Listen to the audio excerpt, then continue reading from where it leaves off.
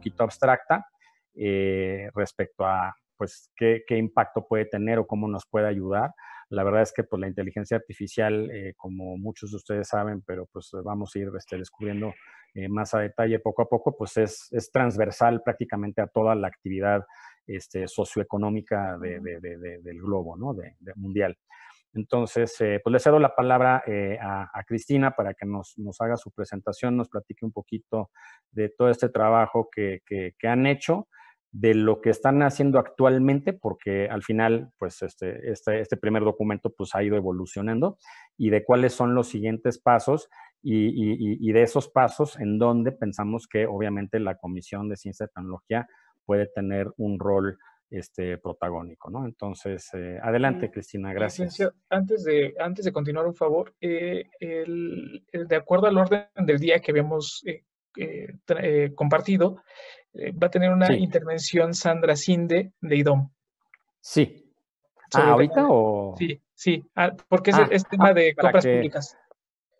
Ya, para, que no haya Sí, para que estén en el orden. Perdón, sí, este tiene razón. Ah, este, ya me habían avisado, se me pasó. Discúlpeme, maestra, este, Cinde. Este, pues sí, para, digamos que no, no, no, no, no, no mezclar los temas y continuar con, con lo de compras o concluir con eso. Discúlpeme, adelante, este, le cedo la palabra. Gracias.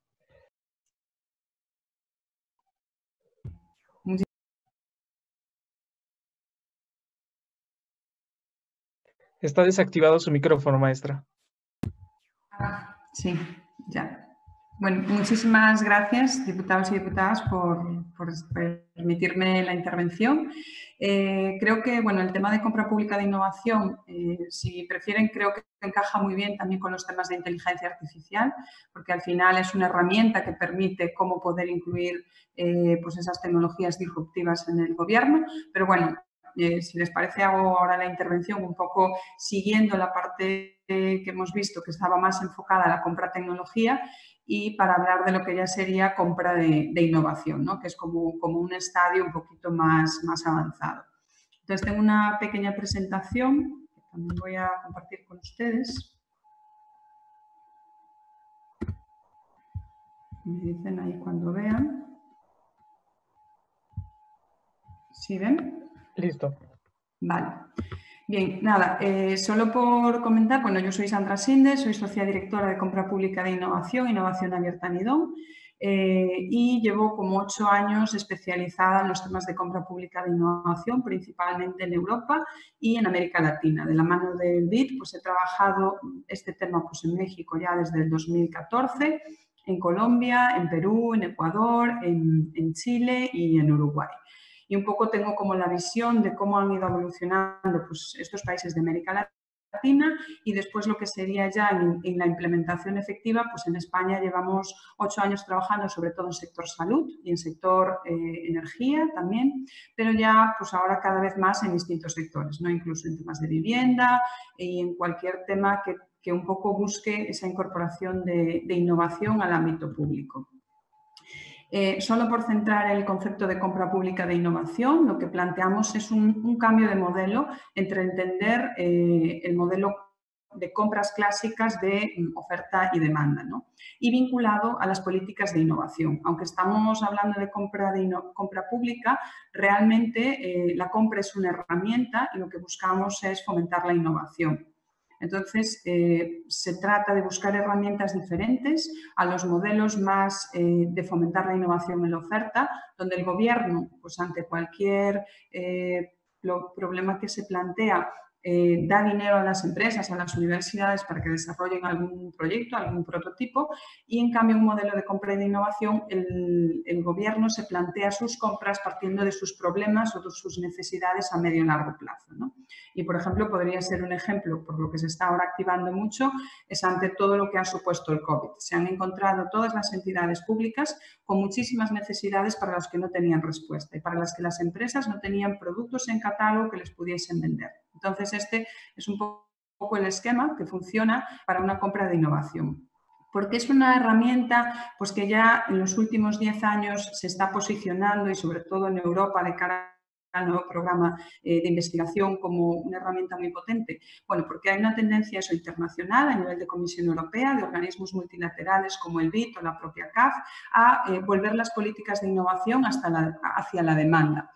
Es decir, las políticas de innovación que un poco buscaban eh, generar capacidades en oferta, dotar a las universidades y a las empresas de mayores capacidades, se ven que a veces no son eficientes cuando luego no hay nadie que te compre eso. Entonces, se dice que la mejor manera de ayudar a una empresa es comprándole y comprándole cosas que son riesgosas y en las que vas a eh, compartir con ellos riesgos y beneficios para desarrollar esos primeros eh, prototipos. Entonces, esto va a permitir eh, también enfocar las estrategias de innovación más inclusivas y más sostenibles vinculadas pues, a todos los retos que vamos a tener vinculados al cambio climático. Impactan en el fomento del emprendimiento de base tecnológica, porque muchas de estas soluciones van a venir dadas por empresas, startups o muy intensivas en tecnología. Y bueno, y ya si nos vamos a temas más académicos, pues sí ya hay estudios que el impacto directo en los indicadores de I de I principalmente gasto en, de, de, de I de I sobre PIB, tiene 10 eh, veces más impacto con este tipo de políticas que con las políticas de oferta. Y al mismo tiempo nos va a generar eh, posibles procesos de emprendimiento público. Es decir, podemos pensar en generar eh, unos funcionarios que no estén pensando en comprar la tecnología del ayer, sino estén pensando en cómo cargar la tecnología del mañana. Y esto, eh, bueno, ya hay muchos estudios que la principal causa por la que no se compra tecnología en los gobiernos, hay un estudio de Public, que es una entidad eh, inglesa, es por desconocimiento de los propios funcionarios públicos. Es decir, hay un proceso necesario de capacitación eh, que también va a producir, si se hace, la transformación de las administraciones públicas a organizaciones más innovadoras y más ágiles. Y un poco eh, no podemos eh, pensar que, esos funcionarios, si no tienen ese cambio de mentalidad y esas capacidades, van a poder asumir este, este proceso eh, pues tan disruptivo. por eso nosotros hemos trabajado en México y en otros países en cinco elementos, en políticas públicas, cómo articular las políticas de compra y las políticas de innovación, en la parte de marco legal, porque finalmente esto se ata a una ley de contratos, a la parte de demanda pública, que sería cómo profesionalizar a esos compradores, en la oferta de servicios, también cómo preparamos a las empresas para que vean al, gobierno como un socio eh, en ese proceso de investigación y en crear instrumentos financieros como se han creado en distintos países para promover este tipo de compras. ¿no? Eh, ¿Qué nos lleva a esto? Eh, que la evolución de las compras públicas, que se ha ido moviendo de un modelo pues, más tradicional a modelos de compras, eh, el modelo 2.0, que serían las compras electrónicas, el modelo 3.0, que era el que se planteaba aquí, buscar interacciones, contratos marcos, clasificadores de gasto, esa, esa parte más de vinculación. Hay un último estadio, que son las compras 4.0, que es cuando yo tengo una finalidad estratégica aparte de esa compra. Es decir, yo no solo quiero comprar tecnología, sino quiero que esa tecnología desarrolle un sector en concreto. Cuando eso se cruza con la evolución de las políticas de innovación de estos modelos más de la oferta, de inyectar dinero a las empresas con modelos más de la demanda, de proveer las, necesidades, digamos que podemos hacer compra pública de innovación. Esto es el escenario a nivel internacional. Eh, pues los países más avanzados, Estados Unidos lleva haciendo compras públicas de innovación desde los años 60. De hecho, casi toda la industria de semiconductores americana se desarrolla en base a estos programas. Hay un programa que es el SBIR, que financia las distintas, primero obliga a las distintas estancias del gobierno a destinar un porcentaje de gasto anual para este tipo de compras. Y ese también es el modelo que ha seguido TECES en Finlandia en España se ha creado un instrumento que apoya a las entidades públicas que quieren hacer este tipo de compras y ahora, a raíz del COVID, eh, pues tanto los dos planes de reactivación económica, el plan de choque de ciencia e innovación y la agenda digital, plantean el uso de la compra pública de innovación, destinando el plan de choque 152 millones y la agenda digital no fija una cantidad, pero sí exige que se empiece a utilizar el, instrumento.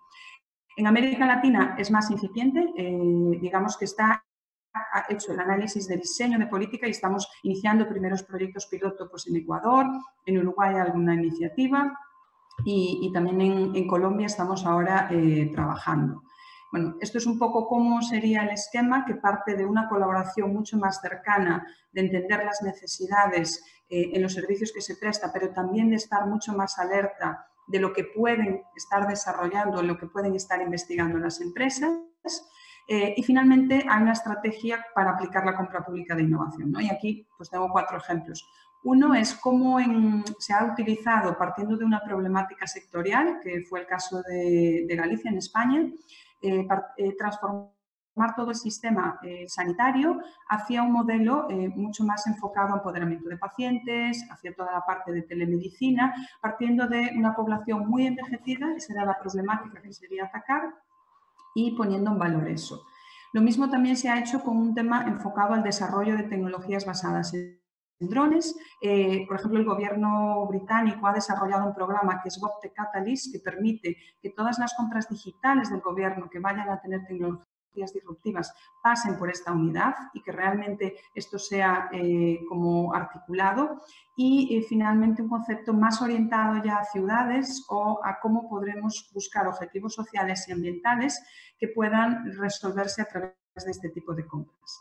Esto nos lleva a intensificar la colaboración público-privada, a, programas de eh, datos abiertos, compartir datos para generar valor y negocios a través de ellos y a, eh, un poco partiendo de los problemas, generar oportunidades de negocio en la oferta tecnológica, que es el gran valor que tiene esto. ¿Qué se ha avanzado en México? Pues en 2013-2014, con CONACIT y la Secretaría de Economía, se diseña el Sistema de Compras Públicas de Innovación para México, basado en tres pilares, fomento de la I+, de más empresarial, generar una demanda pública innovadora y fortalecer la vinculación. Eh, en el 2014-2015 se empiezan a hacer muchas actividades de sensibilización, eh, un poco para introducir el concepto, porque era algo nuevo. Eh, durante el 2016 se crea un grupo de trabajo de compras públicas innovadoras dentro del Comité Intersectorial para la Innovación y se empiezan a hacer los primeros proyectos pilotos en los que participa la propia Secretaría de Economía, Profeco y Semarnat que por distintas eh, razones solo se finaliza en compra y los demás se corre todo el proceso hasta identificar la necesidad, se hace un proceso de consulta abierta al mercado para identificar ideas, pero no se ejecuta la compra. Y en 2019-2020 eh, diseñamos también para, para la Secretaría de Economía una guía que aterriza ya todo el proceso eh, de compras públicas de innovación eh, que hoy por hoy en México se puede hacer. Quiero decir, en México la actual ley, a través del artículo 4016 de, de contratos de prototipo, permite este tipo de compras. Pero sí existe mucho desconocimiento en la aplicabilidad de este artículo y de cómo poder implantarlas.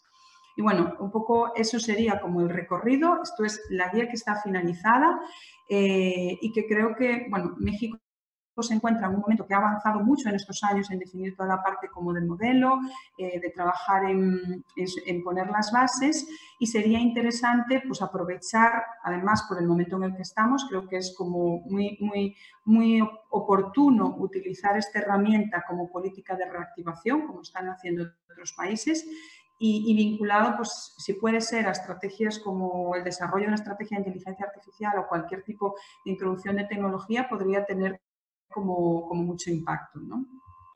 Y nada, esto ya es como una visión de, articular la compra pública de innovación a un concepto de misiones, que es trabajar con, con resolver una problemática concreta. Y esto viene un poco de la mano de, Mariana Masucato, que es una economista que está planteando eh, pues este, este, estas políticas eh, de innovación orientadas a la resolución de problemas, que también es una visión que está trabajando con ACIT muy claramente la articulación de que la ciencia debe resolver aquellos problemas sociales eh, y buscar mayor inclusión y sostenibilidad eh, a través eh, de los instrumentos de política de innovación. Entonces, bueno, era una visión muy, muy rápida que quería compartirles y, bueno, tenemos de todos los trabajos, estudios que hemos hecho, si les podríamos compartir en caso de que sean de interés, y cuando por eso vi la modificación de la ley de, compras me pareció muy, muy, interesante porque creo que es un, un momento eh, que puede ser muy, muy oportuno para, para, aprovechar todo, todo el trabajo avanzado y la situación en la que, la que además México tiene una industria TI muy, muy potente, con lo cual tienes una oferta tecnológica que puedes desarrollar con, con gran capacidad.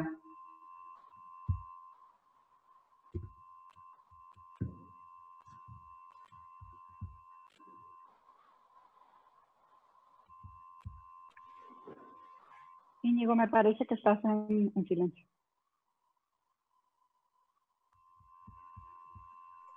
Perdón. Este, excelente maestra eh, Sandra Cinde. celebro de verdad que, hayan, que haya usted participado también en esta sesión porque pues efectivamente, eh, pues como decía yo, yo creo que al final de cuentas este trabajo pues no es una cosa, siempre había esta mentalidad, ¿no? De que el gobierno, el gobierno es el que tiene que resolver todo, afortunadamente eso ha ido cambiando ya en los últimos años, en donde pues eh, cada vez se suman este, otros actores, ¿no? Este, y, hablamos de la triple o cuarta hélice, ¿no? En donde pues el gobierno, la industria, la academia, las organizaciones de la sociedad civil, los think tanks, etcétera, pues todos tenemos que trabajar de manera conjunta en, pues yo diría casi que en todos los temas, ¿no? Y este pues no es la excepción. Entonces, eh, celebro su, participación, maestra. Eh, me parece, bueno, yo coincido, por supuesto, porque pues yo siempre, yo llevo ya más de 10 años trabajando en el sector de la tecnología, pero sí efectivamente es un cambio de visión en términos de compra pública, por ejemplo, de la, de la pues ahora sí que desde la, desde la demanda, desde la, desde la demanda, ¿no?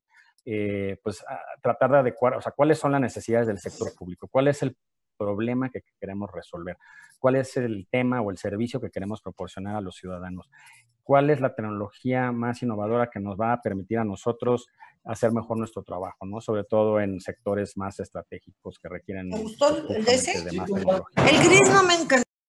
Entonces, eh, no sé, pienso en energía, ¿no? En el sector agro, en fin, hay muchas áreas de oportunidad. Seguridad pública, por supuesto, ahí hay un montón de oportunidades, ¿no? Y sabemos que México pues tiene un reto ahí importante. Entonces, eh, bueno, pues antes de pasar, este, Cristina, al tema de, inteligencia artificial, que también como, como se ha señalado aquí y usted misma lo señala, maestra Cinde, pues este, hay, una, hay una relación directa entre el tema de compra pública y la, y la inteligencia artificial, pero pues quisiera, antes de que pasáramos a, a, a le la palabra a Cristina, abrir unos minutos este, para, para, cerrar el tema de compra pública, eh, darle la oportunidad a, ustedes, este, diputadas y diputados, si tienen algún comentario, alguna pregunta este, que hacernos sobre el tema, este, unos minutitos, este, adelante, por favor.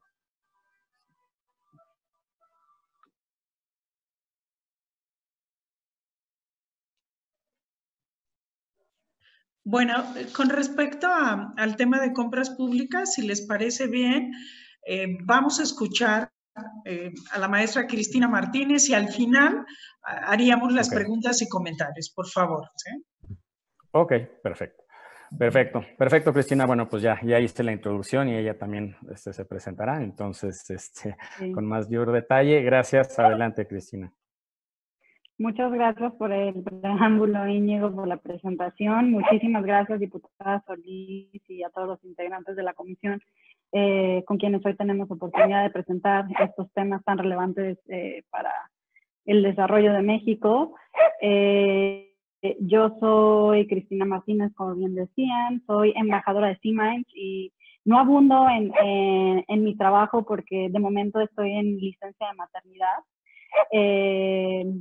pero no quería dejar de pasar la oportunidad pues, de reunirme hoy con ustedes y platicarles lo que estamos haciendo en uno de los varios frentes y cachuchas que nos ponemos como organización. Eh, rápidamente sobre C-Minds, nosotros somos una organización social eh, desde la cual exploramos cuál es el potencial impacto de las nuevas tecnologías para promover el desarrollo económico y social de México y de Latinoamérica.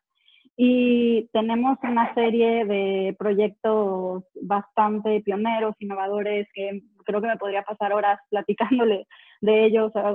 FAIRLAC y FAIR Jalisco con el Banco Interamericano de Desarrollo. Estamos desarrollando una guía ética para las startups y, y para que ya sea que tienen algún componente de inteligencia artificial en sus servicios o quieren ofrecer un tipo de bien o servicio que utilice inteligencia artificial, se hagan estas preguntas éticas sobre el potencial impacto tal vez negativo que podría tener en los usuarios o, incluso previo en el diseño del producto o del servicio.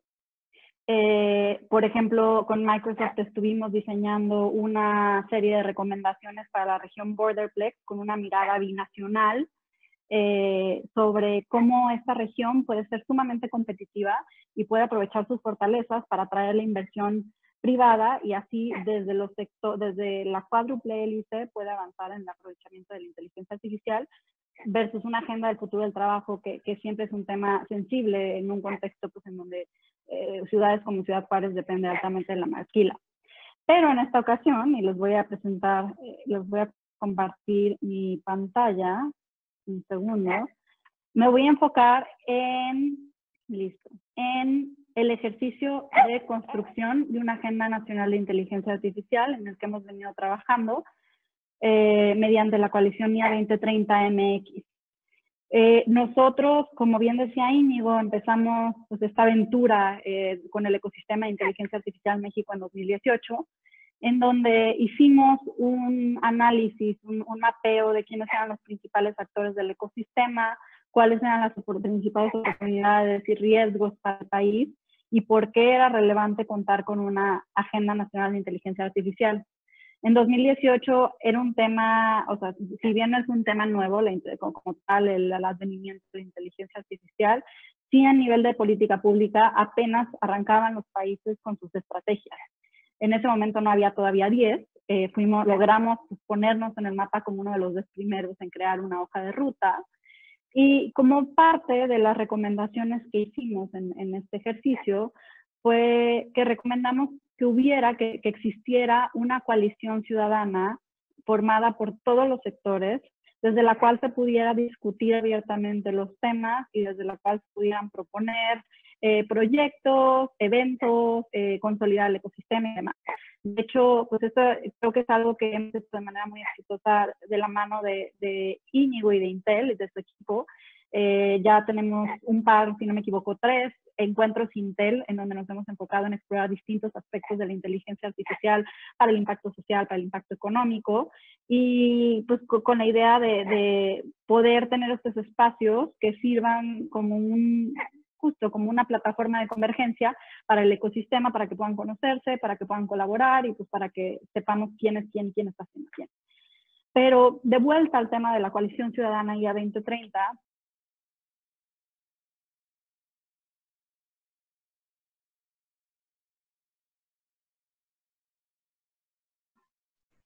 Uy, creo que, creo que se, se nos desconectó este. Ah, no, estás. Hola.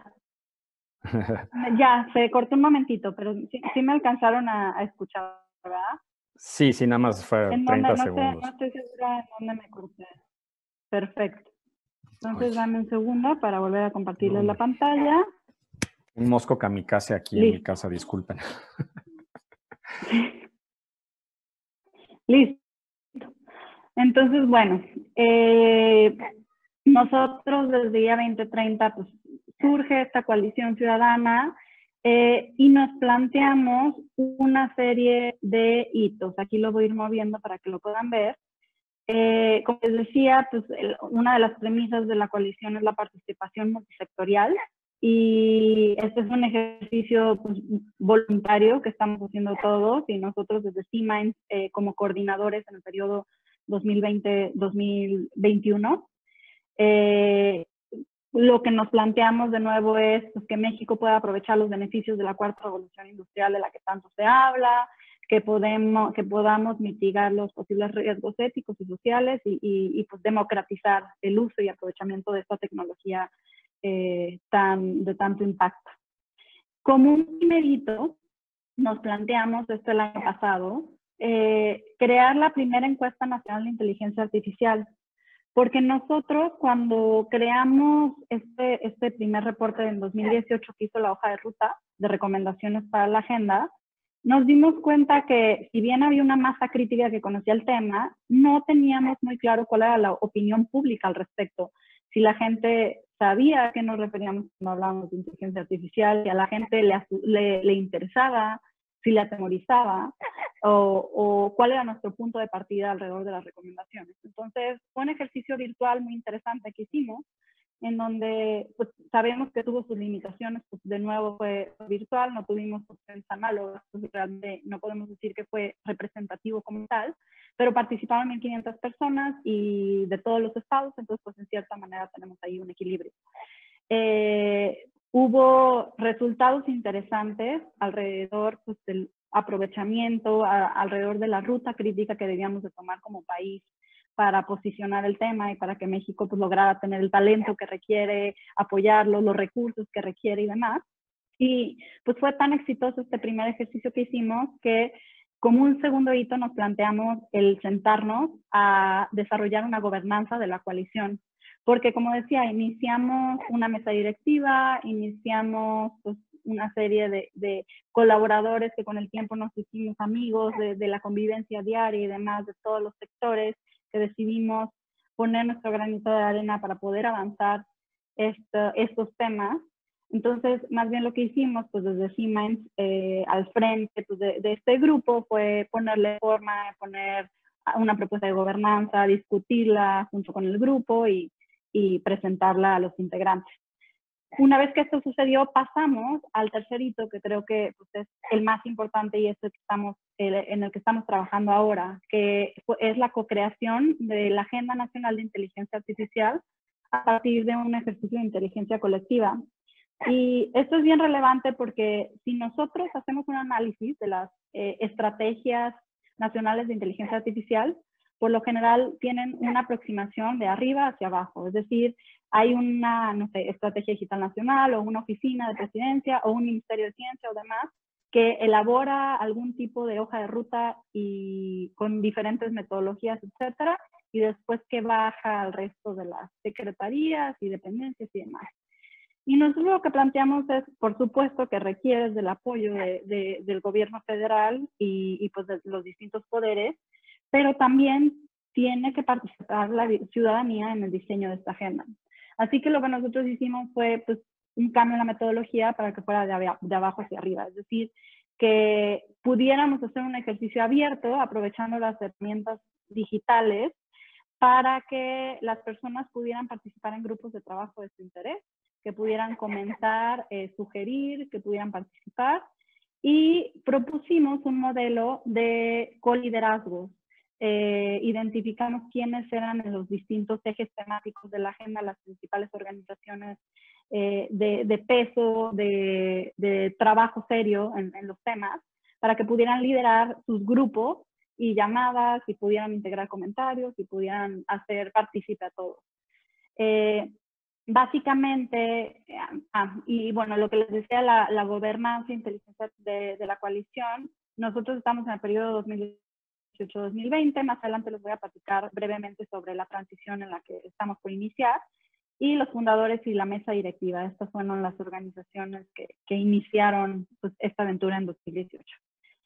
Y ahora, la Agenda Nacional de Inteligencia Artificial como tal está planteada en seis ejes. Cinco de ellos corresponden a un modelo que nosotros presentamos haciendo un análisis de las estrategias nacionales de inteligencia artificial que entonces, en 2018, había en el mundo. Tenían el eje de ética, de gobernanza, gobierno y servicios públicos, de datos, infraestructura digital y ciberseguridad, de investigación y desarrollo, de capacidades, habilidades de educación. Ahora, eh, con el cambio de administración y al acercarnos a la Cancillería, eh, se mostraron muy interesados en que incorporáramos un sexto eje, que es el de mexicanos en el exterior. Y básicamente eran dos vías. Uno, cómo podíamos aprovechar el uso de la inteligencia artificial para ayudar a nuestros connacionales que en su mayoría están en Estados Unidos pero por otro lado también cómo aprovechamos la diáspora mexicana altamente calificada, que tenemos bastantes doctores en inteligencia artificial que están en otros países en proyectos de investigación y demás. Entonces, cómo los podíamos vincular con el desarrollo de esta agenda y con el desarrollo de México, que, que pues eso hemos notado que están ávidos de participar y no quieren desconectarse del país. En este sentido, pues pueden aquí ver la lista de organizaciones que es que, que colideran los grupos, cada uno de los grupos. Tenemos al ITAM, eh, por, por, parte de la representación de la Cámara de Diputados de la Comisión de Ciencia y Tecnología está participando Arturo Sánchez, eh, CIATEC, Secretaría de Economía, IFT, FUNCO, eh, el Consorcio de Inteligencia Artificial de CONACYT, el Centro de Ciencias de Complejidad de la UNAM, un par de startups y organizaciones académicas de renombre y pues la Secretaría de Relaciones Exteriores. Y básicamente en donde estamos en la línea de agenda es eh, que este ejercicio lo arrancamos en julio del año pasado. Y como les decía, esta, esta es una metodología completamente distinta. Es el primer ejercicio en el mundo que se hace de esta manera. Abierta tenemos más de 400 participantes en los distintos grupos de trabajo. Entonces ha sido un reto bastante interesante el ir manteniendo la participación, el ir manteniendo eh, eh, el interés, el ir curando los comentarios, las sugerencias, etcétera. Pero afortunadamente estamos por concluir el ejercicio, entonces estamos muy emocionados al respecto. Y básicamente esta agenda lo que va a contener por cada uno de los ejes que les mencionaba es una serie de introducción, cuál es la problemática identificada, va a tener recomendaciones muy puntuales eh, por cada uno de los temas, cómo medir esas recomendaciones, cuál sería la ruta crítica que cada uno de los grupos de trabajo presenta y, bueno, por supuesto, conclusiones y referencias. Eh, en este momento, si ven la línea, estamos en la revisión por parte de los grupos de trabajo y edición de la agenda y esperamos en, septiembre, ya casi, pues tener el evento de presentación al que nos encantará que nos acompañen.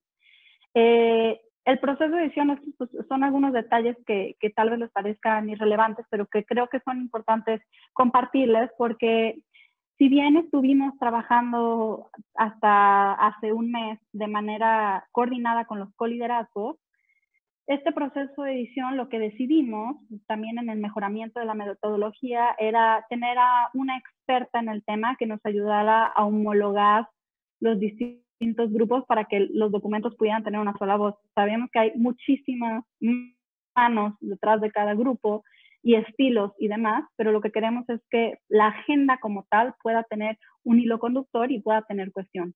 Y esto porque queremos, porque vamos a estar trabajando en, va, a estar la agenda en su conjunto, pero va a haber también un documento, un resumen ejecutivo que pueda llegarles a ustedes, que pueda llegarles a tomadores de decisiones, que pueda presentarse en foros internacionales, que se pueda compartir la experiencia de construcción de la Agenda Nacional de Inteligencia Artificial de México y demás. Y Básicamente, con relación a los siguientes pasos, es que, pues, como les decía, en septiembre eh, les estaremos enviando a toda la comisión la invitación para el evento de presentación de esta agenda. Eh, y también les estaremos compartiendo eh, la información relacionada a la transición que vamos a tener en el liderazgo de la coalición.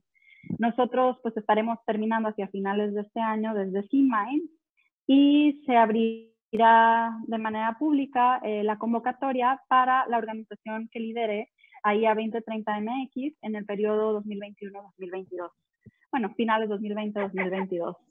Eh, y lo interesante es que como es una coalición ciudadana, como es un tema voluntario, eh, si bien nosotros creo que hemos ya sentado las bases sobre el trabajo y ya tenemos tres ejercicios exitosos sobre los cuales construir. No pretendemos imponer pues una, una ruta de trabajo para la organización que, que lidere en el siguiente periodo. Entonces, el seguimiento como tal y la implementación de los distintos puntos de las recomendaciones, creo que la nosotros estaremos acompañándola y nos encantará seguir eh, participando y elaborando, pero la estrategia, esta estrategia de aterrizaje pues, le corresponderá por los mismos estatutos que elaboramos a la organización que, que levante la mano y que, y que se decida desde la mesa directiva, que es la más apta para poder llevar a cabo estos esfuerzos.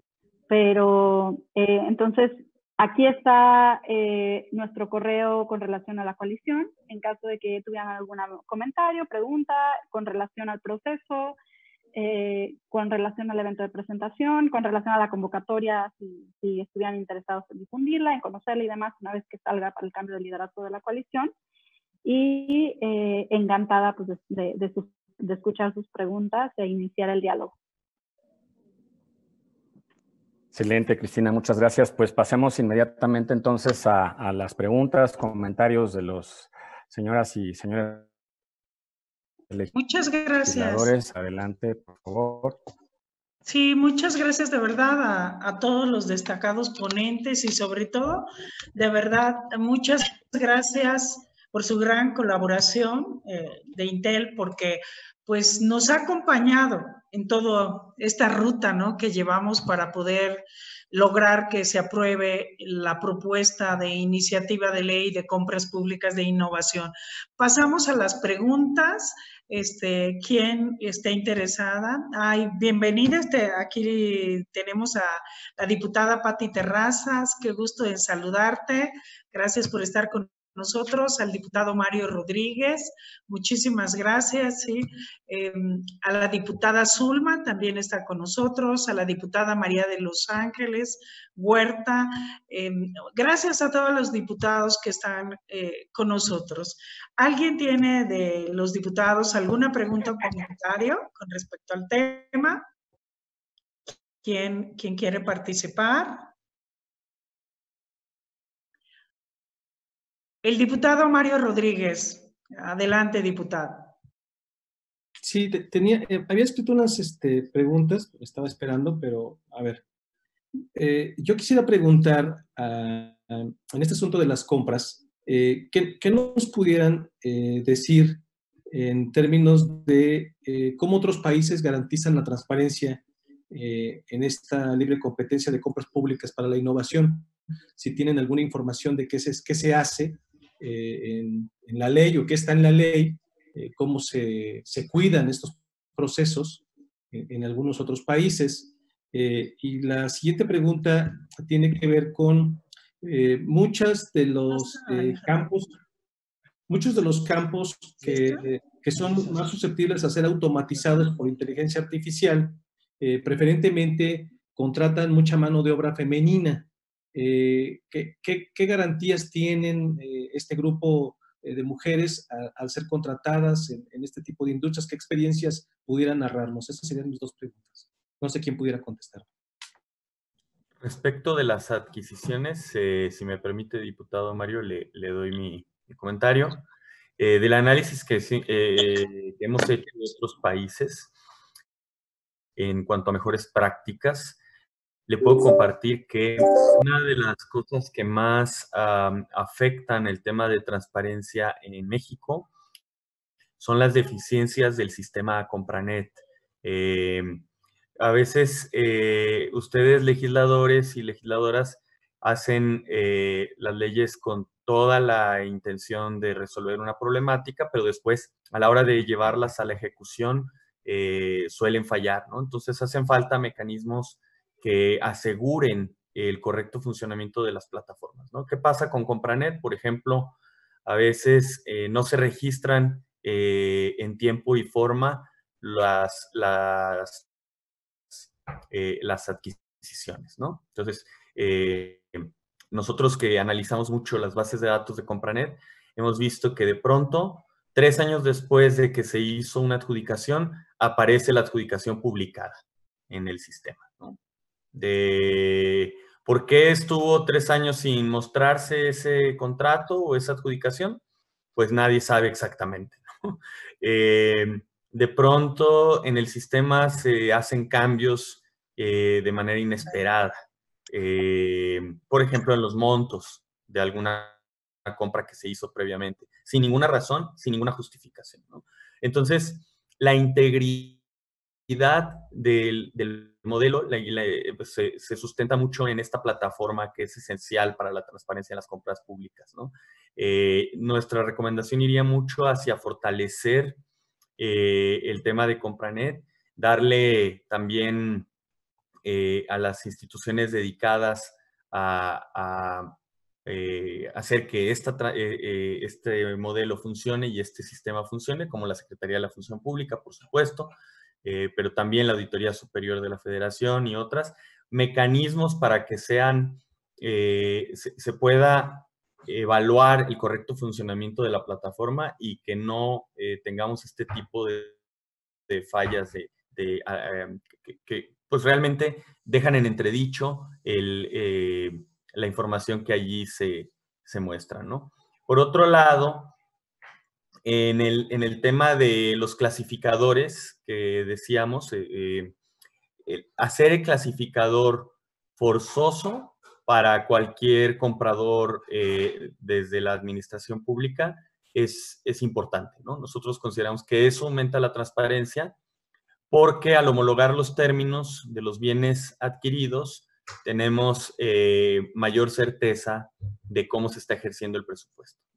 Entonces, eh, esas serían Eh, por supuesto, hay muchas recomendaciones más que podríamos hacer en términos de cómo incrementar la transparencia, pero dos cosas que se podrían hacer fácilmente eh, con algunas mejoras eh, este, que se pueden incluir en la, en la reforma, en, las leyes, este, pues con eso podríamos mejorar sustancialmente la, la transparencia. Sí, y yo si me permite, pues complementaría un poco con la parte de cómo se está haciendo en el ámbito de compras públicas de innovación. Y básicamente, pues aquí la, legislación europea lo que plantea es un proceso previo, precontractual, de consulta al mercado. Todos los procesos de compras de innovación, como se parte de una necesidad a la que no hay solución en el mercado en ese momento, hay un proceso en el que ese reto, esa necesidad se socializa con academia, con empresas, para recoger ideas de posibles soluciones en un ejercicio de innovación abierta. Una vez que se recogen esas ideas, eso eh, se usa para eh, definir o determinar los términos de referencia que van a servir para la compra. Por lo tanto, ese proceso que a veces es muy de pues quién sabe de esto cada vez que hay que comprar y se llama al primo, al amigo, a la empresa que conozco, eh, pues ya se evita porque realmente es un proceso totalmente transparente donde yo puedo recibir ideas de propuestas de, de solución y ya digo, en esa fase precontractual totalmente abierto. Entonces, eso lo que ofrece es muchísima transparencia para los procesos y ya una vez que tienes todas esas ideas, eh, defines tus, pliegos de condiciones y ya sales a, la fase de contratación, que normalmente son procesos también abiertos. Por lo tanto, eh, esa fase de participación o colaboración previa en la etapa precontractual, que un poco en la, legislación mexicana es la, mm, lo que se llama como estudio de mercado, eh, que sí se exige, pero se hace muchas veces muy de manera limitada, el hacerlo eh, de manera masiva, incluso utilizando eh, muchas veces pues, plataformas para poder hacer esa difusión, confiere mucho, mucha transparencia a todo el proceso.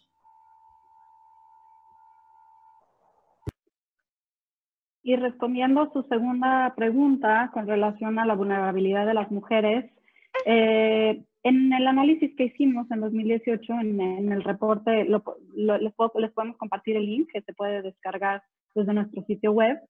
Eh, hicimos una estimación sobre el posible impacto de la automatización en los empleos en el país y, presentamos, eh, sugerimos que posiblemente el 19% de los empleos, es decir, alrededor de 4 millones de empleos, podrían verse impactados por la automatización. Y decimos impactados y no necesariamente afectados porque creemos que esto es en los siguientes eh, entre 10 y 20 años. Eh, decimos impactados y no necesariamente afectados porque lo que creemos que, que, va a suceder y que está sucediendo a raíz de la aceleración de la digitalización de muchas empresas en el contexto COVID es que los empleos pasan a transformarse, no necesariamente del todo a desaparecer. Es decir, hay una tendencia hacia la cobotización, que es la colaboración humano-máquina. Entonces, el planteamiento que se hace sobre qué tendría que pasar, en particular esta conversación la tuvimos eh, con distintas autoridades y con distintos actores pues, en, el marco del proyecto de Borderplex, porque decían, oye, a ver, tenemos al menos 400.000 empleos que dependen de la, de la maquila, y qué va a pasar cuando pues, los procesos sean automatizables y qué va a pasar con estas familias y qué va a pasar con muchas mujeres que son los sostén de sus familias y demás. Y si bien no hay una respuesta única para decir esta es la cucharada mágica de lo que hay que hacer para evitar la pérdida de empleos, sí hay una serie de acciones que en su conjunto abonan a que podamos preparar a la fuerza laboral mexicana hacia una agenda del futuro del trabajo. Y entre una serie de acciones eh, destacan, por ejemplo, eh, el tema del aprendizaje continuo, eh, en inglés se llama reskilling y upskilling, que tiene que ver con el fortalecimiento de las habilidades que ya tienen estos empleados. Algo que nos llamó mucho la atención en, en Ciudad Juárez, por ejemplo, es que si bien es, o sea, si bien dependen altamente de la maquila, es una mano de obra sumamente sofisticada. Eh, muchos de estos empleos se enfocan en lo automotriz y en dispositivos médicos. Y una de las recomendaciones que nosotros hacíamos ante este panorama y ante las fortalezas que existen en, la complementariedad que tienen las ciudades del Paso, de las Cruces y de Ciudad Juárez, era precisamente cómo convertir, o sea, cómo pasar de ser una región meramente maquiladora a ser un hub de tecnología y salud. Ya tienen la mano de obra que sabe cómo trabajar y es darle el, el cambio y darles las herramientas e invertir para que se pueda convertir en este hub, pueda atraer la inversión privada y pueda ser mucho más competitivo sobre otras regiones que más o menos están siguiendo esta ruta.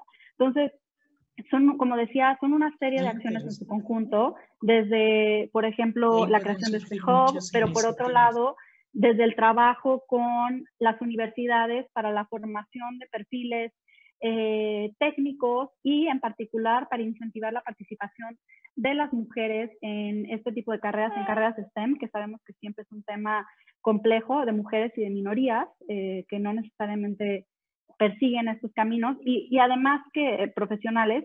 Y algo que descubrimos también al hacer el análisis de, bueno, ¿dónde se están quedando las mujeres? Es que ah, hay una edad decisiva, son los 14 años, en donde las perdemos, o sea, en donde, no, y no lo digo las perdemos porque está perfecto que vayan a otro tipo de áreas y ciencias sociales y humanas y demás, pero muestran la misma actitud en matemáticas, etcétera, las mujeres, pero a partir como de los 12, 13, 14 años empiezan a recibir determinados tipos de, de eh, o sea, empieza el tema de estereotipos y de mensajes sobre para qué sí serías buena o para qué no serías buena.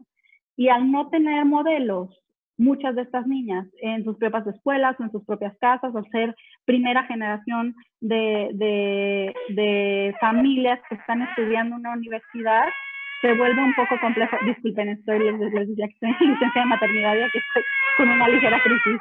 Un momentito, ya. Eh, pero en fin, eh, hay una serie de, de, estrategias complementarias que pueden eh, ponerse a trabajar en conjuntos y que pueden apoyarse desde la comisión que pueden discutirse en foros y que sirven para pues, poder tener un entendimiento sobre esta tecnología y sí, sí, los múltiples beneficios que se dicen que van a tener en el país eh, económicos, pero también la distribución de los beneficios sociales, que pueden ser muchos y que pueden ayudar en una agenda eh, en el contexto actual de México de, disminución de brechas de desigualdad, de empoderamiento de minorías, de empoderamiento de las mujeres, es una tecnología sumamente relevante. Muchas gracias, de verdad, este, interesantes respuestas que nos pueden llevar, yo creo, a todas las diputadas y diputados a presentar otras iniciativas de ley. Lo, lo vamos a analizar eh, cada uno de, sus comentarios muy interesantes, de verdad. Y bueno, ¿alguien más quiere hacer? Sí, diputada este, Solís, eh, si me permite, este, de la diputada Geraldina Herrera Vega, que tiene ahí algunos problemas con su audio, me, me, mandó, me mandó por chat una pregunta que voy a leer a todos.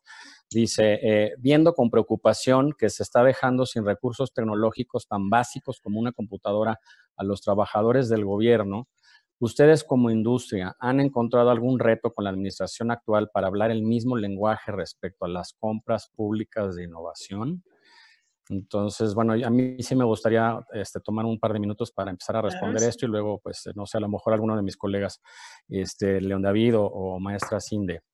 Eh, y bueno, pues la verdad es que, pues, eh, digo, sí es un tema un poco delicado hablar de esto porque pues sí, efectivamente tenemos grandes retos. Yo creo que México ahorita, eh, la administración actual, eh, pues quizá no tiene la misma convicción con respecto a la importancia de la tecnología como, pues, como administraciones anteriores y, como consideramos que debería de, de, tener cualquier gobierno de cualquier país, porque finalmente pues la tecnología ya es omnipresente en todas nuestras vidas, en todas nuestras actividades.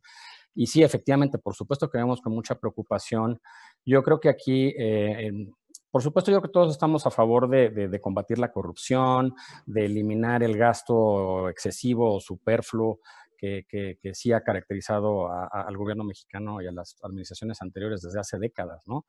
Nadie podemos estar en contra de eso, todo lo contrario. Pero creo que aquí también, eh, y, el tema de austeridad, yo creo que es un tema que habría que ver, o sea, quizás la gente lo, lo, percibe o lo, lo, define de distintas formas, lo concibe de distintas maneras. Yo, yo el tema de austeridad a mí, y lo estamos viendo tristemente ahorita con esta administración, yo creo que el gobierno está llevando a un extremo eh, eh, este concepto, porque sí, sí se trata de gastar menos, pero más que gastar menos es gastar mejor, ¿no? Si se gasta mejor, por naturaleza se va a acabar gastando menos. Entonces, de ahí, de alguna manera, se, termina cumpliendo con esa austeridad, digamos, o sea, con, reducir el gasto, ¿no?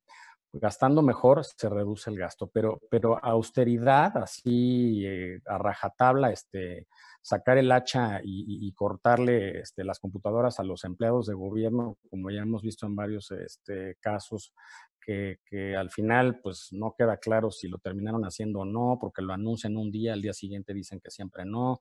Pero bueno, pues todo el mundo conocemos gente en el gobierno en distintas dependencias y, y, este, y eso de pedirle a los empleados que lleven sus propios equipos, este, cancelar los contratos de, de arrendamiento de equipos que actualmente tienen y, y, hacerle la oferta a los empleados para que con su propio dinero compren los equipos si es que quieren seguir trabajando o si no obligarlos a que compartan, cosa que es una cosa, perdón que lo diga así, pero es ridículo, ¿no? O sea, no, no, no se puede compartir, ¿no? Un equipo que pues uno necesita las ocho horas del día laboral, pues necesitas tu propio equipo, ¿no? Además, cada quien tiene actividades distintas. O sea, eso de compartir equipos, pues, con todo respeto, pues ahí sí discrepo, ¿no? Y creo que pues es evidente, ¿no? Este, entonces sí, sí ha sido un reto. Este, ahí, diputada, este, bueno, pues usted forma parte de la, de la, del, del, partido que, que, que, está en el gobierno. Este, y muchos de ustedes también, muchos de los que, bueno, obviamente son mayoría en el Congreso, y, por eso para nosotros como industria, pero yo diría más que nada, yo como, como ciudadano, como sociedad, todos debemos estar preocupados por esta, eh, pues quizá, eh, visión eh, pues distinta, ¿no? Que tiene esta presente administración y, bueno, pues es, están iniciando, este, todavía no cumplimos los dos años bien bien, ¿no? del arranque del gobierno, este, pero ya se llega a esa fecha y, bueno, pues se entiende que, que, que, que, esas visiones pueden ir cambiando y, para eso, pues, eh, digo, pues hay que influir, hay que, hay que hacer una influencia positiva en, en que el gobierno vea la necesidad de invertir en la tecnología como una cosa estratégica para su propio desarrollo.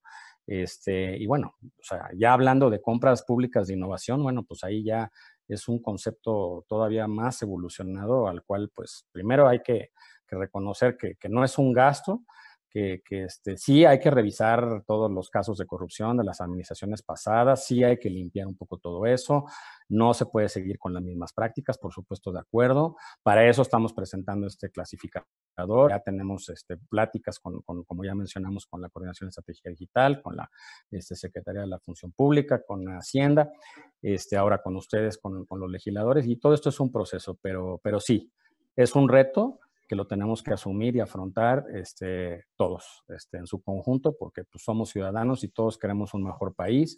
Eh, y ahorita, claro, pues con la, con la pandemia, pues se, ve, se ha este, agudizado y se ve más la necesidad. Entonces, pues sí, sí es extraño, ¿no? Que, que, que se le estén dejando recursos eh, o, eliminando recursos tecnológicos al, al, propio gobierno. O sea, el gobierno se está poniendo una camisa de once varas, como decimos, se está poniendo la camisa de fuerza casi, casi este, para su propia operación y desempeño, ¿no? No sé si alguien más tenga algún comentario. Bueno, si me permite, en este, José, diputada.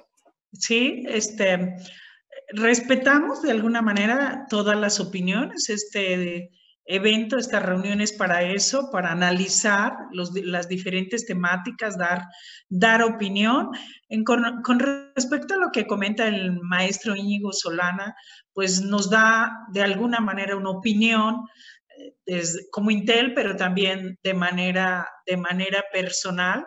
Considero fundamental, maestro, que, y es por eso hoy la reunión, el que podamos, a partir de esta reunión, pues presentar propuestas. Yo creo el resultado de estas reuniones tiene que ser con propuestas que nos permitan continuar todo este proceso, pero de una manera efectiva, conjunta, ¿no? De trabajo colaborativo. Como bien comentó, el uso de la, eh, la tetrahélice significa eso. Y hoy que estamos aquí, eh, diferentes este, digo, instancias y que además están diputadas y diputados este, de la Comisión de Ciencia y Tecnología. Es como podemos, digo, incidir fuertemente con resultados, con propuestas y con resultados, ¿no? Creo ese es el, trabajo que nosotros tenemos que hacer como diputados y ustedes.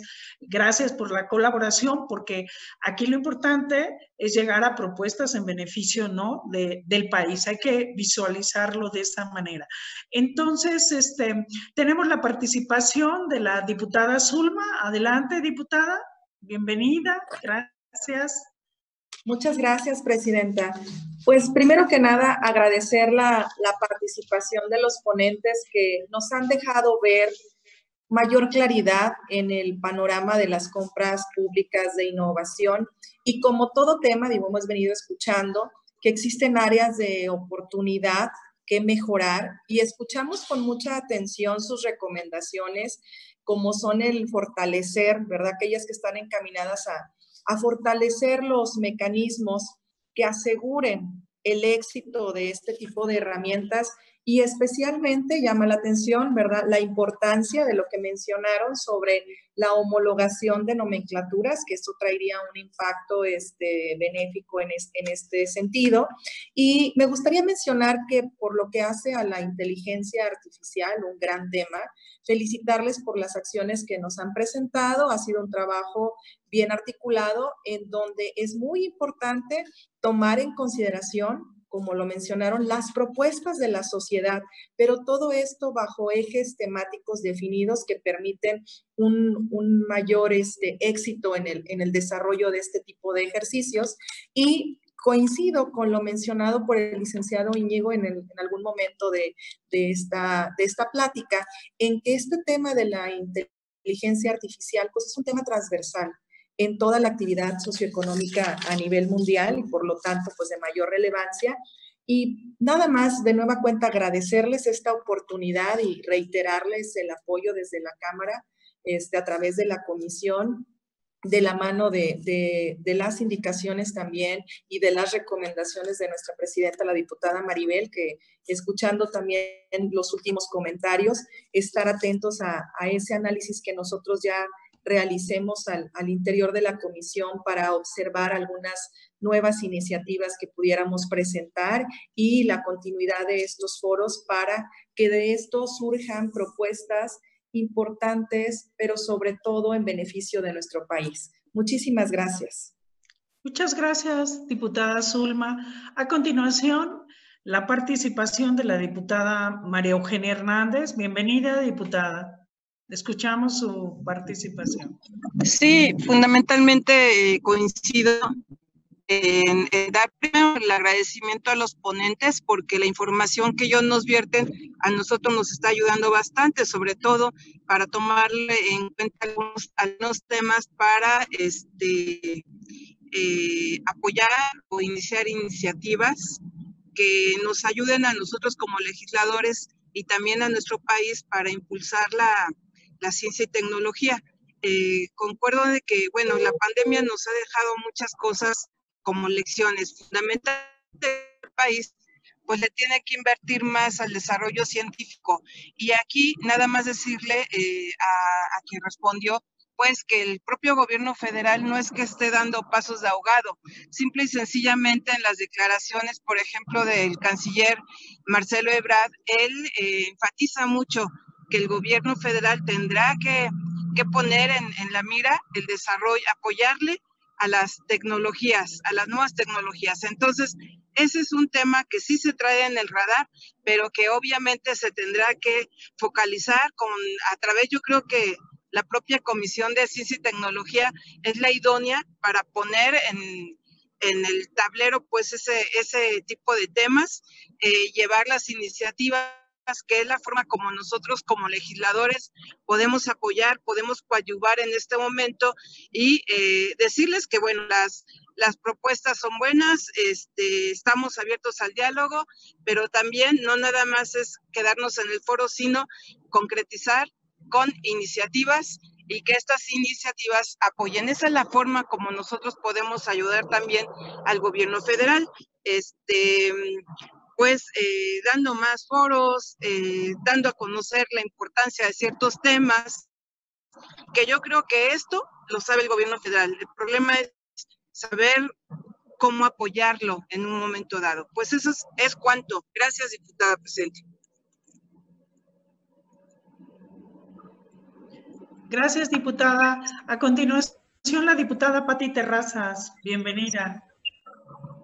Gracias, Maribel. Muy buenas tardes a todos, a los ponentes. Muchas gracias y bienvenidos a, este foro. Y bueno, pues a mis compañeros diputados, muy buenas tardes a todos, muchas gracias. Bueno, mira, yo, yo estoy viendo algunos temas, eh, escucho y, lo escucho con muchísima atención y veo algunos temas, pero me quisiera enfocar únicamente en tres. Uno es eh, la transparencia que a través de tecnologías de la información sería muy importante que hubiera transparencia. Y habiendo transparencia, se elimina los eh, actos de corrupción, porque en el momento en que subes una compra, que lo haces de forma transparente, aunque sea asignación directa, porque también, o sea, yo, yo te hablo desde tres, desde tres puntos de vista. Uno, como, como empresaria, que no me imagino mi vida de empresaria sin un computador para realizar mi trabajo. En esta época de la vida, en este siglo XXI, no podemos hablar de, de, realizar un trabajo sin un computador o, o, al menos con un teléfono inteligente eh, como empresario, porque eh, la señora de la esquina hace sus compras a través del teléfono o manda su pedido a través del teléfono, le mandan un WhatsApp, no sé. Bueno, ese, es un tema importante. Pensar en un gobierno que dé reversa a 30 años a, estar sin computadora, bueno, a mí me parece no un error. Me parece que ni siquiera se puede considerar. Que se haga público, bueno, pues eso sería, el, el, que se haga público, bueno, está hablando de un muy, muy mal gobierno en temas de tecnología de la información. El, el, el, eh, te lo digo pensando como empresaria, te lo digo de esa manera. Pensando como funcionaria, como gente del Ejecutivo. Ya hablo del Ejecutivo desde la presidencia municipal, un gobierno estatal o un gobierno federal. ¿Cómo me, cómo conozco yo el trabajo de mi gente? Pues a través de la información que maneja, de la secrecía de la información que maneja, de, la transparencia de lo que se tiene que, visualizar pero no lo puedo hacer a través de un computador donde mi, mi, empleado, mi trabajador es dueño de su computador. Porque, a ver, si está haciendo malos manejos, ¿cómo le, pido que me entregue su documentación o cómo bloqueo yo la información? O sea, eso es imposible. Le tengo que proporcionar yo las herramientas mínimas para realizar su trabajo. Eso es desde el Ejecutivo. Y como diputada federal, yo sí creo que tenemos que hacer leyes donde sí verdaderamente la corrupción no se quede en un discurso, sino que la corrupción se ataque directamente a través de mecanismos que nos ayuden a resolver y nos ayuden a transitar en una vida que sea mucho más rápida, que vaya de acuerdo a las tecnologías y que vaya de acuerdo a los tiempos en los que estamos viviendo. ¿Y qué más prueba y dónde nos dibujamos de cuerpo entero en este momento? Donde estamos de veras, donde nos falta muchísimo. En este momento de pandemia estamos viendo, estamos mal en educación y no, no y no tenemos esa herramienta necesaria, indispensable para que podamos salir de la pandemia y con una educación de calidad. No tenemos, no hay una planeación. Y que si, si todos los ciudadanos de este país que estén en, edad de estudiar tuvieran un computador, bueno, pues estaríamos del otro lado del mundo. No tenemos capacidad de tener al menos los archivos médicos digitalizados para saber en este momento las cifras reales de contagiados, de la gente que se le hizo un estudio o de la gente que tiene COVID. O sea, no tenemos esos archivos que en momento, que en, en, el momento inmediato yo puedo estar capturando en el lugar más remoto de la República Mexicana y donde le pueda estar dando yo herramientas para tomar decisiones a quien tiene que tomar decisiones en el país. Nos están dibujando de cuerpo entero de las grandes limitaciones que tenemos. Y cómo como gente que tiene que tomar, que tiene que tomar decisiones en este país para hacer las cosas y hacerlas bien y hacerlas para los tiempos de hoy, creo que como diputados tenemos que hacerlo y yo sí, mi propuesta en la comisión de Ciencia y Tecnología y luego con profundo respeto y con muchísima delicadeza para que nadie se ofenda, pongámonos las pilas, hagamos las cosas que tenemos que hacer y demos herramientas al Ejecutivo para que haga las cosas transparentes, que evite la, la corrupción, pero no en el discurso, ¿eh? en las cosas reales, que se evite la corrupción en, las cosas reales y que las compras de este país las tengamos en tiempo real, aunque sean asignaciones directas, que sepamos quién las compró, cuánto costó, a quién se las compró y cómo los mexicanos podemos enterarnos de qué es lo que está pasando. Bueno, pues hay muchas cosas, la verdad que fue muy enriquecedora eh, la, la ponencia, pero yo me quedaría hasta ahí y les agradezco muchísimo su atención. Muy buenos días a todos. Bien, vamos a, vamos a continuar y bueno, sí es muy importante comentar que, que el tema que se aborda hoy es el de compras públicas de innovación, que es un tema que, está, que tiene todo un contexto eh, que eh, de alguna manera eh, nos permite hoy con los ponentes poder fortalecer ¿no? Esa iniciativa que tendremos, que hay varias propuestas, ¿no? el uso del clasificador, por ejemplo, eso es fundamental y, para el tema igual de, transparencia. Bueno, vamos a continuar. Este, está la diputada Abril Alcalá. Bienvenida, diputada. Adelante. Estaba yo con la palabra pidiéndola antes, diputada presidenta. Ah, perdón. A ver, este, Em, sí, sí, adelante, diputada presidenta. No gracias. Sí, este, diputada María de Los Ángeles, adelante. Sí, yo aludiendo a lo que comentaba la diputada del PAN que me antecedió, yo creo que el respeto y la delicadeza. Diputada María de Los Ángeles, soy Patricia Terrazas.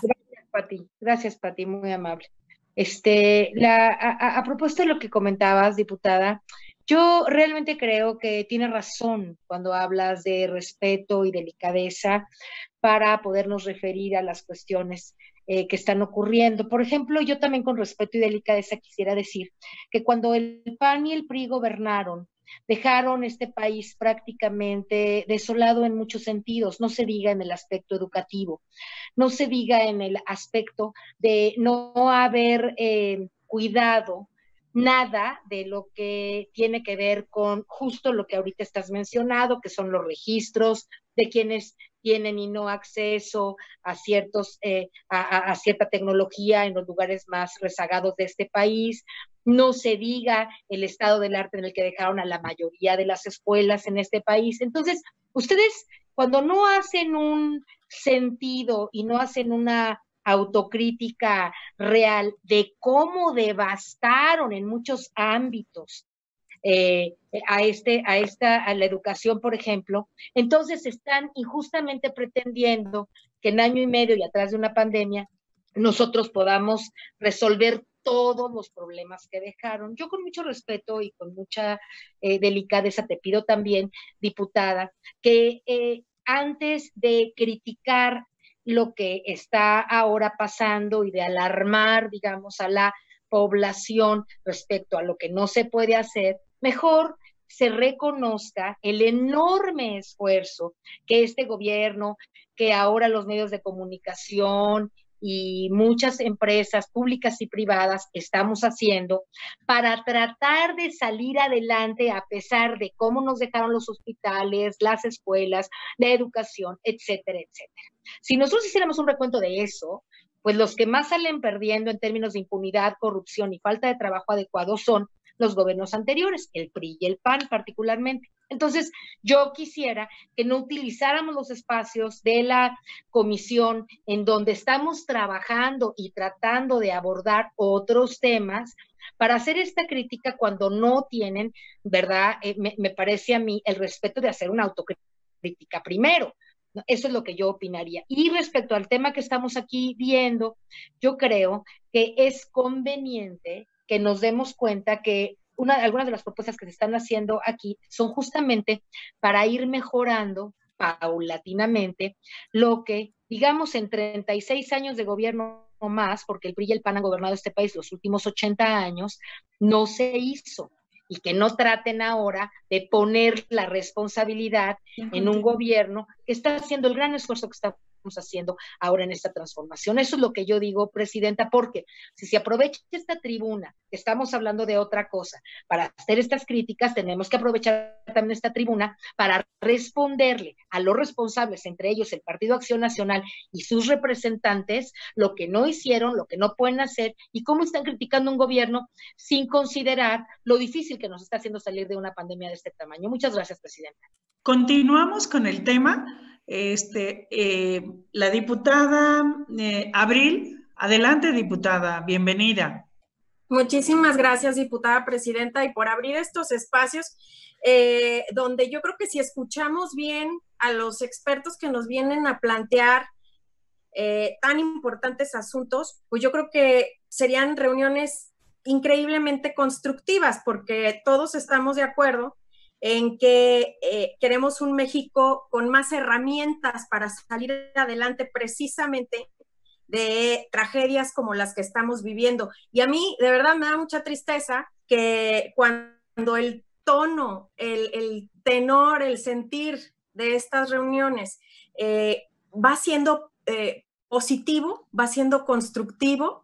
en los diferentes grupos parlamentarios se ve el acuerdo hay quienes de verdad desperdician minutos preciosos para defender lo indefendible, eh, para echarle la culpa, literal, echarle la bolita al pasado o a quien se deje, eh, de cosas que hay que resolver ahora. No se pueden defender los errores de hoy y tiene que quedarnos claro que está retrocediendo en términos tecnológicos de herramientas tecnológicas de las que hoy nos vinieron a hablar, porque es un hecho que se les están quitando computadoras a los trabajadores, caray. Eh, híjole, eso, eso yo no sé por qué ángulo lo, pueden defender, porque tendríamos que ir a más, no a menos.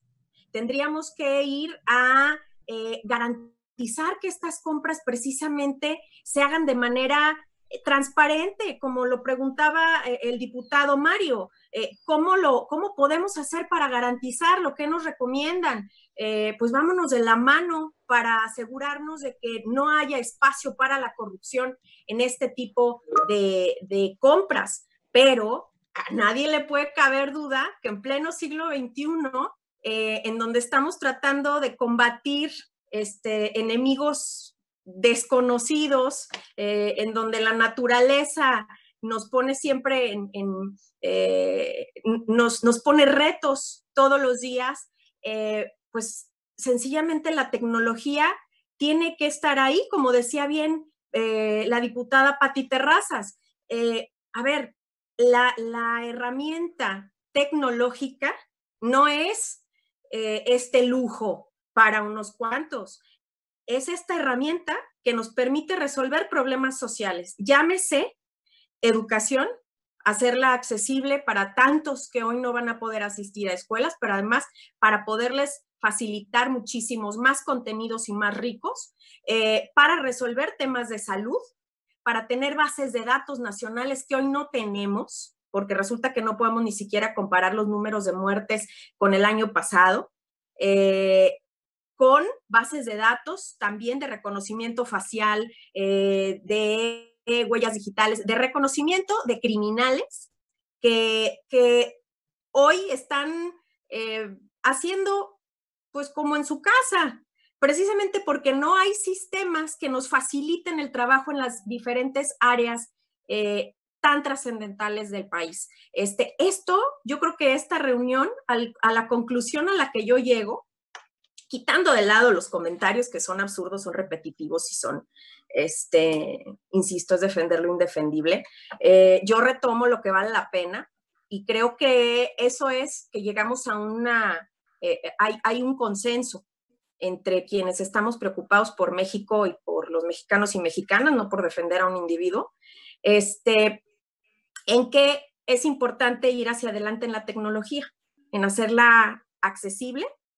eh, en garantizar que esto no, no se preste para ninguna corruptela, ni malos manejos, ni mucho menos. Hay que maximizar el poco recurso que hoy, tiene eh, el gobierno, eh, pero que sí hay que ir en esa dirección, no hacia atrás. Entonces, a mí la verdad, me este, encantó esta, esta reunión. Yo les agradezco muchísimo a los ponentes y si nos lo permiten, yo creo que ir de la mano para poder hacer esto iniciativas que son urgentes, porque hay que, eh, hay, que fortalecer nuestra, nuestra legislación en cuanto, a, en cuanto a las compras y ustedes ya tienen muy bien identificados los, los huecos que podemos subsanar. Entonces, vámonos por ahí y, y bueno, yo creo que de aquí están saliendo cada vez más equipos. Diputada Presidenta, muchísimas gracias por su proactividad y, siempre por su, buena voluntad y, su pluralidad. Muchas gracias, es.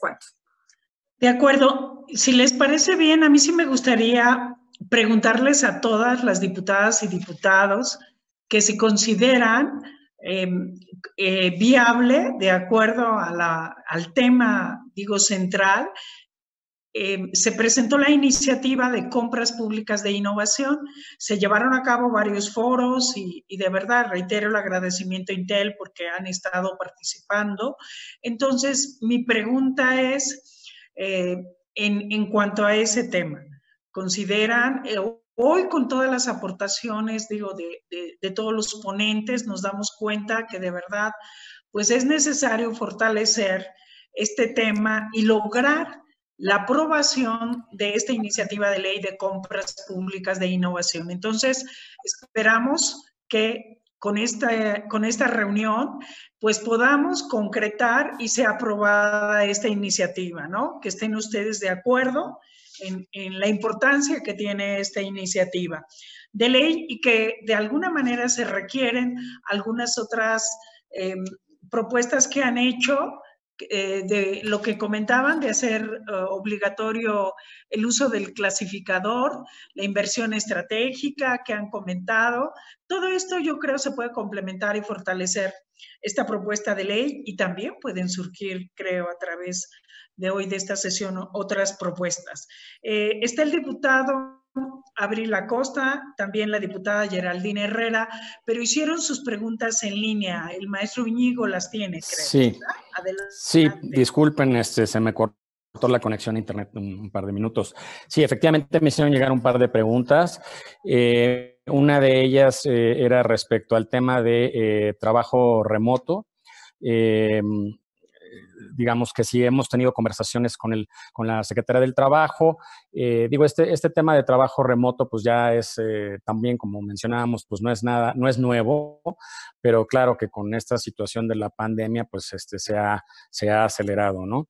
Entonces, eh, pues sí, sí, como industria, obviamente, pues se podrán imaginar que, que tenemos eh, toda una serie de propuestas de cómo podemos ayudar, no nada más al gobierno, sino pues en general a las organizaciones, a las empresas, este, etcétera, pues a poder eh, operar remotamente eh, con las cargas de trabajo que implica en términos del uso ¿no? de los equipos, etcétera, pero al mismo tiempo garantizando la seguridad y la privacidad este, que bueno, siempre será un reto, ¿no? Pero, pero bueno, eh, entonces sí, en respuesta concreta, sí estamos eh, teniendo conversaciones con, con, la Secretaría del Trabajo, apenas iniciamos, pero sí, la idea es, como siempre, pues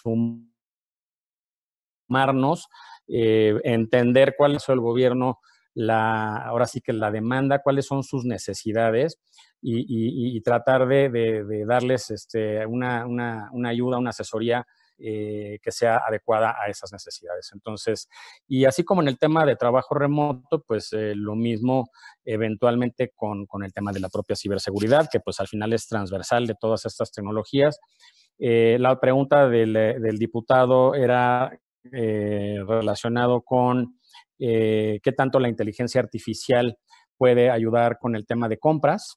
Y bueno, creo que un poquito más o menos eso ya lo, tocamos, este, aunque sea superficialmente, pero sí, claro. Yo creo que en la medida en que tengamos, y por eso la iniciativa, me parece, este, León David, que es en el, en el artículo 45 ¿no? de la iniciativa de, de, reforma a la ley, este, donde queremos incluir en uno de los párrafos que para efectos de las compras TIC, eh, se considera la utilización de un clasificador de bienes y servicios en donde estos, y, digo, y, por, y, en este clasificador pues se, entiende que ya está considerado una homologación de estos conceptos, de este tipo de productos y, de, servicios, ¿no? Entonces, eh, en la medida en que se, que, se utilice eso desde la toma de decisiones, yo creo que ahí ya se inhibe, se transparenta el proceso de la compra en sí desde el inicio, este, eso es lo que nosotros consideramos, eh, y, bueno, pues entonces ya, eh, si desde el inicio eh, ya queda más transparente todo el proceso y, digamos, todo el mundo tiene los mismos criterios, los mismos conceptos, pues digamos, ya en la cadena subsecuente, pues ya es un poco más difícil este, caer en, actos este, incorrectos, ¿no? Entonces, y sí, obviamente la inteligencia artificial funciona, pero imagínense, hay una expresión en inglés que dice garbage in, garbage out. Es decir, o sea, si, si la información que se le mete al sistema, los algoritmos, no es congruente, o sea, si yo no puedo sumar peras con peras, pues la inteligencia artificial no nos va a ser muy útil porque no va a ser capaz de, de, sumar, ¿no? Este, la pera con la otra pera, ¿no? O sea, estás está sumando peras con manzanas y entonces no, no vamos a poder este, hacer ese análisis, ¿no? Le estamos exigiendo demasiado, digamos, a, la inteligencia artificial. Entonces, la inteligencia artificial pues tiene sus límites y ahí es donde entra el factor humano.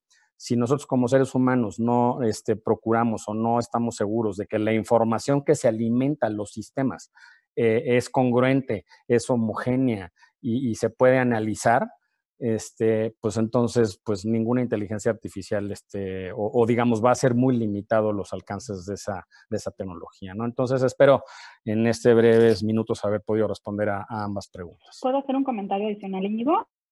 Sí, adelante, Cristina, por supuesto. Darles un ejemplo eh, de cómo se vería, si bien no es eh, completamente en línea con el tema de compras públicas, tiene que ver con un ejercicio que hizo la Secretaría de Hacienda para detectar actividades fraudulentas. Utilizaron un algoritmo que les, que les permitió hacer un análisis de las bases de datos de Hacienda e identificar en tan solo tres meses más de 3.000 empresas que estaban cometiendo algún tipo de ilícito o actividad fraudulenta. Este algoritmo lo que logró en tres meses se logra en más de dos años de trabajo artesanal de un análisis eh, sin el uso de inteligencia artificial. En este sentido, ¿por qué es relevante la incorporación de las nuevas tecnologías? Porque nos dan poder de decisión y poder de acción. Es decir, si en tres meses, eh, con este ejemplo, pudimos identificar 3.000 empresas, en lugar de que sea un tema retroactivo y que en lugar de que digamos, bueno, ¿y ahora qué hacemos hacia atrás? podemos actuar en el presente, podemos sancionar a estas empresas, podemos inhabilitarlas y podemos justo abonar a la competitividad. Y lo que decía Íñigo es muy relevante porque la inteligencia artificial parte del el uso abundante de datos y para un uso de, de, datos que sean útiles necesitamos bases de datos homologadas. En ese sentido, el clasificador es más que relevante porque te permite en efecto que todos estén utilizando unas mismas categorías, que tengas una gran cantidad de datos que se puedan analizar y que después puedas utilizar algoritmos que puedan identificar patrones y ayudarte eh, no solo en temas de competitividad, pero en temas de transparencia. Muchas gracias.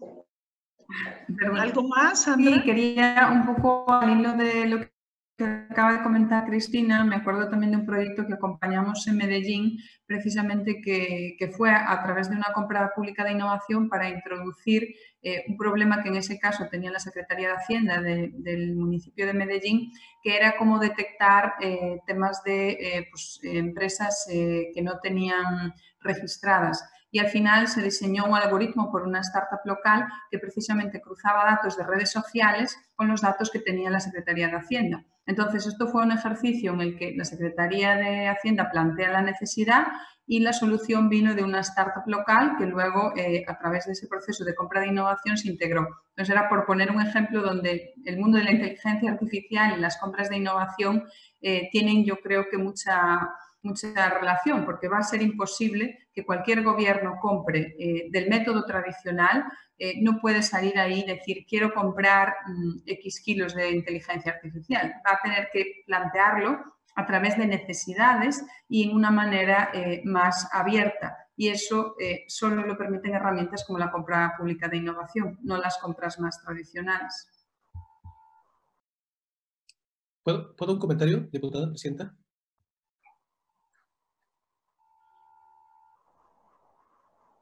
No, no la escucho.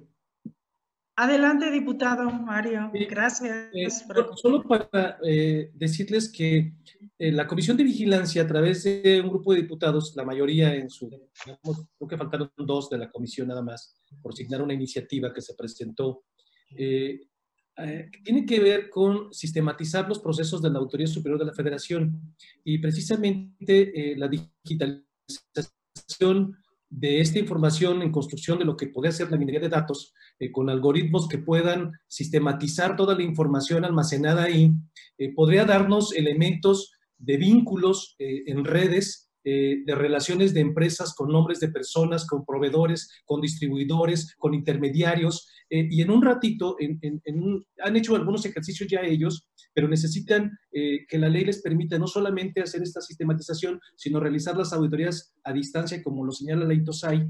Y estamos tratando de impulsar para que puede existir un buzón digital, estos algoritmos que puedan permitir la rápida localización de una empresa, si fue creada hace un año, hace tres meses, si eh, eh, todo ese tipo de información permite eh, lo que llamamos como sospechosismo, saber si o no esta empresa tiene un origen nuevo, fue creada con un gobierno que inicia y la contrata, si ya tenía algunas, este, algunos vínculos, si los socios están vinculados a otras empresas, quiénes fueron sus compradores, quiénes, quiénes este, distribuyeron. Toda esta información permitiría tener a la mano información valiosa para la toma de decisiones en compras. Eh, por supuesto que estamos hablando de todo lo que se audita, de todo lo que hay en el histórico de los municipios, estados y la federación en términos de información, de cuántas empresas. Eh, la auditoría ya tiene un informe más o menos, lo dijo la, compañera Cristina hace un momento, decía ella, eh, de manera muy rústica, a lo mejor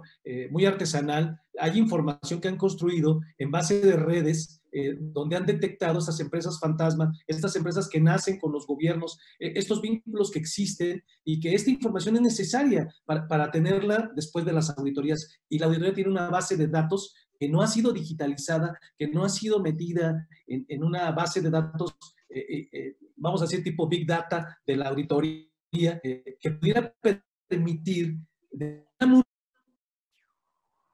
locales que puedan existir con gobiernos, con empresarios. En la, reunión. ¿Cuántos empresarios, cuántas empresas han construido? ¿Cuántas está Marta Escalante. tener esta información. Marta hace como tres, hace como dos meses, eh, estamos eh, tratando de impulsarla. Eh, casi todos los miembros de la comisión coincidimos en esta parte de, entrar a, a, la digitalización en, en, términos de las auditorías y me parece que puede ser un área de oportunidad de modernizar eh, la Auditoría Superior de la Federación. Es cuanto. Gracias, Presidenta.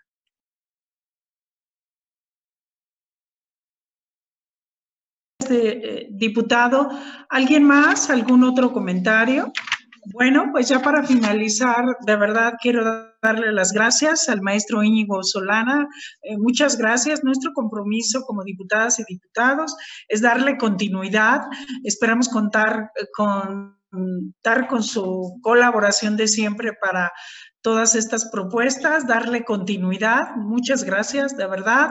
También al maestro León David Pérez, gracias por su excelente eh, participación, a la maestra Sandra Sinde de IDOM, eh, gracias, esa guía práctica creo es, es fundamental, a la maestra Cristina Martínez.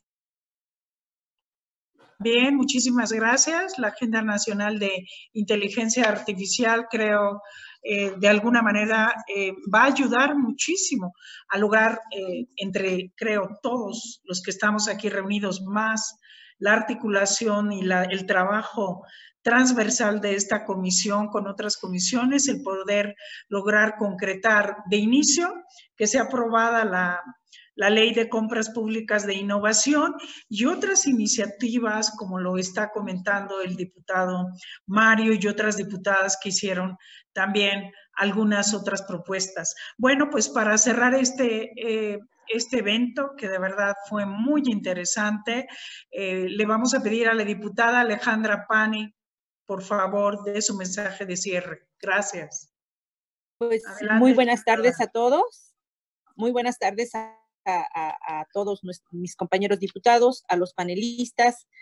Quiero comentar que la Comisión de Ciencia, Tecnología e Innovación agradece profundamente a Intel eh, sobre este tema muy importante que creo que nos abre la puerta para no tan solo presentar esta eh, nueva propuesta sobre las compras públicas de innovación, sino también presentar otras iniciativas que nos ayude a ir mejorando cada día más este, este tema tecnológico que eh, de alguna manera está ya en puerta y que nos puede ayudar mucho ahorita en el tema de la pandemia, que, tenemos un grave problema. Y yo quisiera hacer una sugerencia eh, también con todo respeto a todos, desde a los panelistas, el licenciado Íñico, que nos centremos a los temas que realmente estamos tocando ahorita, que son las compras públicas de innovación y no demos pie a que esto se abra a otros temas que de este momento no podemos como diputados federal tener una solución o dar una propuesta. Nosotros somos eh, una comisión que queremos tener toda la información que ustedes nos traen y que este tema transversal nos dé el apoyo que nosotros necesitamos para poder tomar las mejores decisiones en cuestión de las leyes que queremos aprobar. También quiero agradecer muchísimo a la panelista y la licenciada Cristina Martínez, a la licenciada Sandra Sinde, al este otra vez al licenciado Íñigo Solano y sobre todo eh, decir que estas reuniones que, que estamos prácticamente iniciando con ustedes, ya tenemos algunas más, pero se vayan concretando más a estos temas para que nos ayude a mejorar cada día las mejores decisiones y poder hacer mejores propuestas como esta sobre las compras públicas de innovación. Muchísimas gracias y nuevamente un saludo a todos mis compañeros diputados y sobre todo a ti, Presidenta, por hacer estos paneles tan enriquecedores que nos ayudan para tomar las mejores decisiones. Muchísimas gracias. Pues si me permiten nada más unas palabras últimas a mí, este, despedirme. Eh, gracias, eh, diputada Pani. Gracias, este, diputada Solís, eh, diputadas, diputados, por todas sus preguntas, sus comentarios. Gracias igual a mis colegas panelistas. por último, nada más decirles que pues sí, cuenten con, con Intel, cuenten con la Asociación de Internet para trabajar en esta agenda común que tenemos y en los demás temas que, más o menos ya hemos mencionado. Entonces, bueno, pues es un trabajo eh, de, de, mediano o largo plazo que esperamos poder continuar con, con, todos ustedes. Y muchas gracias por esta oportunidad. Muchas gracias a todos. ¿eh? Saludos, que estén muy bien. Gracias. Hasta luego. gran colaboración. Hasta luego, hasta luego. Diputados, diputados, ponentes, muchas gracias. Muchísimas gracias. Hasta luego.